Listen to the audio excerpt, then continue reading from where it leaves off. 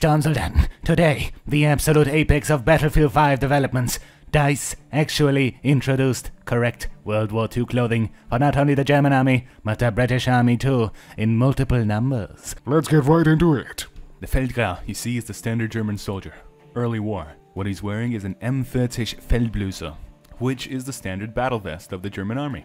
The difference between this one and the one we have in Battlefield 5 is this one is both correctly modeled, looks good, and is made of cloth, and not made of canvas. In addition, the pants being of the correct color and the correct texture and material, as well as detail, also have correctly modeled boots, which are not only correctly modeled, but are shorter than the base boots you find on the Wolf, which is how most soldiers have their boots, shorter than the Wolf version. Which means that finally we get an actual standard issue soldier in Battlefield 5. This is what should be the golden standard of Battlefield 5 when it launched. The amount of differences you see between this and what we have in Battlefield 5 previously is, is staggering. It's incredible. If Battlefield 5 launched with this, Battlefield 5 would be most likely the most successful Battlefield game in history, because it would get the World War II aesthetic right. So I'ma put all my money into this boy and buy it right now. My boy has been delivered to the armory. Next up, the Offizier. The Offizier is the rare version of the previous skin.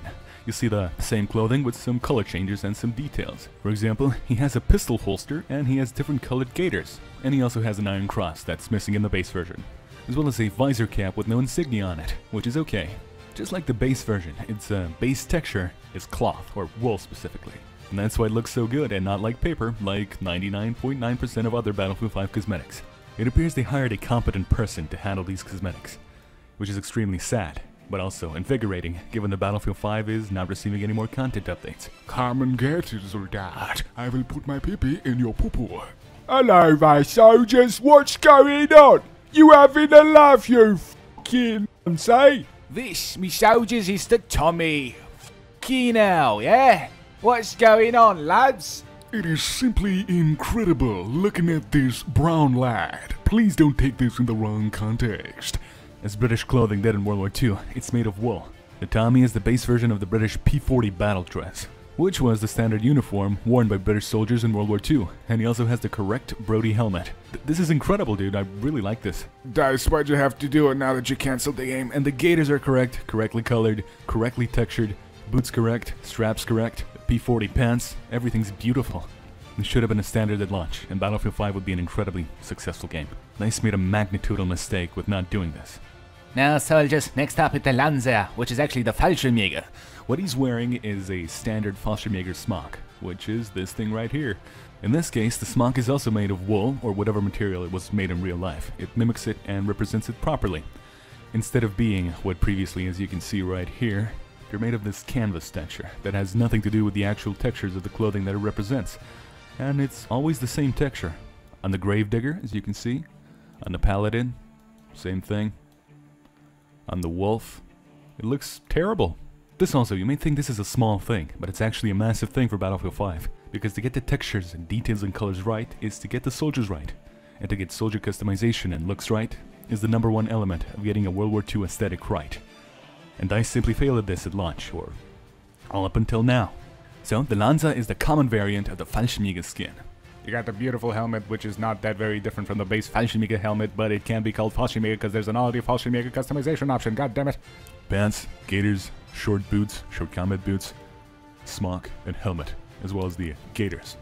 Why couldn't you have me at launch, Dice? I would have made your game successful. Sturmsoldaten, bitte! Fallschirmjäger! Now, for my favorite piece of customization in this Armory update, which by the way does not contain all the versions of new clothing. For example, Tommy has two other variants, Offizier has one more variant, and Lanza has two more variants.